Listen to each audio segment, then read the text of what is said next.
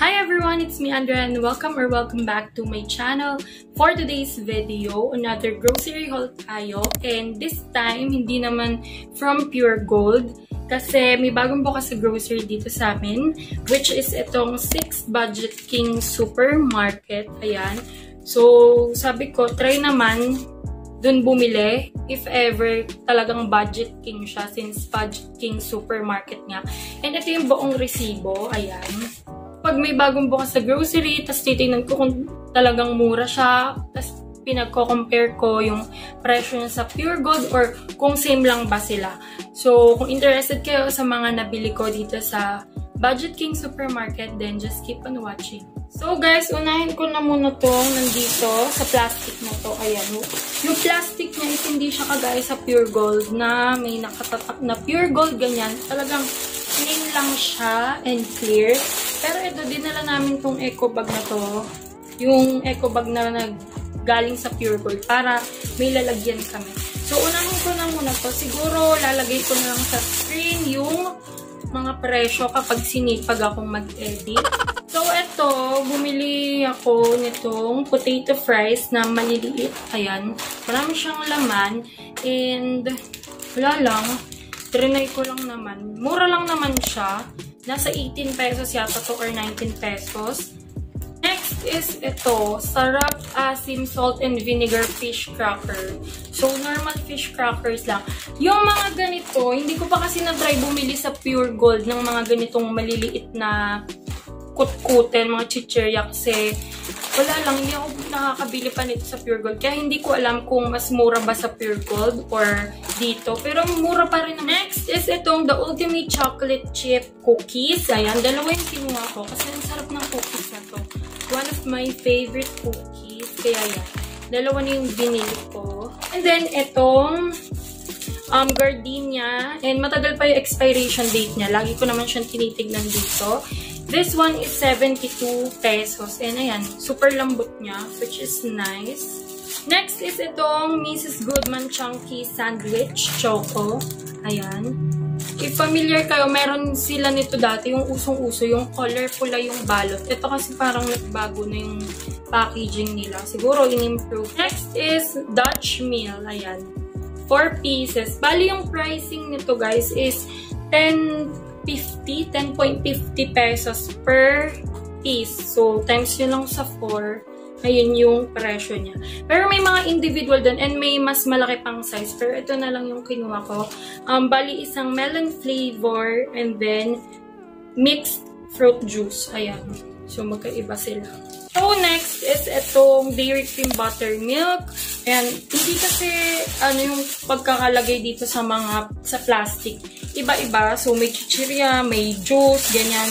Anyway, next is itong UFC Ready Recipes Caldereta Sauce. Kasi nga, um, bumili kami ng baboy. Pero guys, dito sa Budget King, wala silang tindang mga frozen, yung mga karne, manok, hindi ka guys sa Pure Gold, mayroong mga sliced pork, may mga hotdog, ham, mga frozen, wala silang ganun. Hindi rin naka-aircon yung buong supermarket. Siguro hindi na rin sila naglagay ng frozen kasi guys, katabi lang ng supermarket is yung palengke. So, siguro, inisip nila baka yung mga tao doon na lang bibili ng mga baboy, hotdog, kasi meron naman doon. So, eto, bumili na lang kami ng caldereta, caldereta sauce kasi nga, paglabas namin kanina dun sa grocery, diretso kami sa palengke dahil bumili kami ng baboy. So, pangkakaldereta.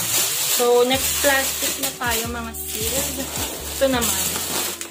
Ito, um, bumili kami ng elbow macaroni, pang sopas. Ayan. Isang box ng Maya pancake. Tapos, Maya na champorado. Malaki siya. Compare dun sa binibili ko lagi dati na White King yung brand. Ito try ko naman kasi masarap yung Maya pancake. Siguro naman itong champorado nila is masarap din. And then, bumili ako ng Maya all-purpose flour. Ayan. So, Maya, baka naman, di ba? Baka naman. Next is itong Oishi na um, salted egg flavor. Favorite namin ni Lamama. And then, tatlong loaded. Yan, 3 pieces. Mura lang yung loaded doon. Next is itong Lucky Milomi, dalawa. Bali kasi guys, ano, meron silang mas mababa sa Pure Gold yung presyo. Meron naman na parang same lang and meron din silang product na mas mataas ng piso sa Pure Gold, ganun. So, halos parang same-same lang. Pero, mas tipid sa mga ganito sa Pure Gold dito sa Budget King kaysa sa SM. Yun lang yung masasabi kong napansin ko talaga. And then, ito, Golden Oats Quick Cooking. Gusto ko kasi ulit mag-oatmeal ngayon. Gusto ko ulit maging healthy-healthy, diba? And then, itong juice na NutriBoost. Alam niya, lagi niyo ito nakikita sa mga grocery haul ko, sa mga grocery vlog. So, isang NutriBoost na strawberry flavor. And then, Delata, of course. Rino, para dun sa kaldereta. Lagyan na natin dyan sa lamesa. Mushroom, kasi bumili kami dun sa palengke ng patty. Since wala nga silang mga tindang frozen, mga hotdog, CD o burger, patty, ganun. So, sa palengke na kami bumili. And then, bumili kami ng Highlands Chili Garlic Corn Beef. Masarap talaga yung Highlands, I swear. Next is itong Evap para sa, tawag dito, sopa. And then, dalawang tuna. Alam niyo naman, tuna lover ang ate nyo. Tapos, isang Pure Foods Chicken Hot and Spicy. Wala lang. Natakam lang ako kasi parang masarap siya. Shredded chicken breast na siya. So, sobrang easy na nito. Lulutuin mo na lang. Diba? Na lang. Ready to eat na siya. And then, ito, Spanish style sardines. Ang sarap nito. Lalo na kapag gusto nyo pasta. Ayan. Gisahin nyo lang. Tapos ilagay nyo lang yung pasta. Perfect na. Last na bag is ito, yung nasa Pure Gold. Ang mga laman nito, another put-puti na naman, which is itong Kiss. Para siyang bangus, pero fish cracker. Kung familiar kayo sa bangus na ganito. So, ito yung kinuha namin kasi wala yung bangus na vinegar yung flavor. Ang nandun lang onion and garlic. So, ito na lang kinuha namin. Kiss. And then ito, masarap to, Valmer. Parang galing pa siya ng ano, mga Bombay sa Arabo-Arabo. Kasi yung mga sulat to. Kita niyo ba yun? Is kumaha kami ng mga juice because sobrang favorite ko ang mga orange juice and melon juice. Itong Oashi Sundays na orange juice, hindi ko pa kasi siya na-try. Yung melon pa lang nila yung natatry ko. So, baka masarap. Tapos, kumuha ako ng dalawang melon, tang melon, and then tang orange kasi I love orange juice talaga. Next is dalawang Yum Yum strawberry, creamy strawberry flavor. Mura lang to, 11 pesos. Parang same lang din sa Pure Gold. Another kutkutin na super favorite ko, Yum Shots tomato flavor. So, comment down below if favorite nyo din yung Yum Shots na yan. Isang Jumpy. Tapos, honey na Honey Junior Peanut Milk Chocolate other juice which is itong Mr. Milk, Del Monte Mr. Milk, uh, mango flavor. Ang sarap nito guys. Medyo maasim lang siya pero ox naman, carry naman. Hindi mo siya super OA sa asim.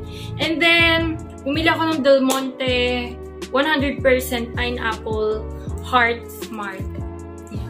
Good for the heart. Ayan o, low, that helps lower cholesterol, chuchu. No sugar added. So, parang pure pineapple lang siya. Basta, ayan para lang sa aking puso. Tapos, kumuha ako nitong liquid seasoning ng Knorr, pero chili. Because, alam niyo naman, gusto gusto kong spicy. And then, bumili ako ng pack ng spaghetti Del Monte. Um, ano ba to? Yung ganito na siya, yung may pasta, may sauce na. Bali, ito ay 129 pesos. And then, creamy and cheesy yung kinuha kong sauce kasi dalawa yung nandun. Isang creamy and cheesy, tapos yung isa is Filipino style. So, naisip ko ito na lang creamy and cheesy para tipid na rin, diba, sa cheese or sa um, sauce para hindi na magdodoble. Kasi nga, creamy and cheesy na siya. Pero bumili pa rin ako ng small na sweet style spaghetti para naman medyo matamis kasi yung creamy and cheesy medyo maalat yung sauce na yan. Pero masarap pa rin naman siya. Tapos, bumili ako ng dalawang maliit na Eden cheese para hindi masayang. Kasi pag sobrang laki, may imbak lang sa rep kasi hindi mauubos. Tumitigas lang. And then, Zesto root beer. Ang gulo ko, no? Gusto ko maging healthy, pero may mga ganito. Tapos, C2 milk tea, winter melon flavor. Wala lang, gusto lang namin siyang itry. And then last is itong Bear brand na sterilized milk para sa aking sikmura and sa tuwing nag-heartburn ako. Kaya kumuha ako ng dalawa. Hindi na ako kumuha muna ng low-fat milk kasi mas kailangan ko itong sterilized. So, ayun guys, napakita ko na lahat sa inyo yung nabili namin. And then, hindi na kami masyadong bumili ng noodles kasi marami pa kaming mga nisin ramen dyan sa cabinet. And then, yung iba kasi, nabili na namin nakaraan, mga condiments, kunyari, um, mantika, nakabili na kami, ganyan.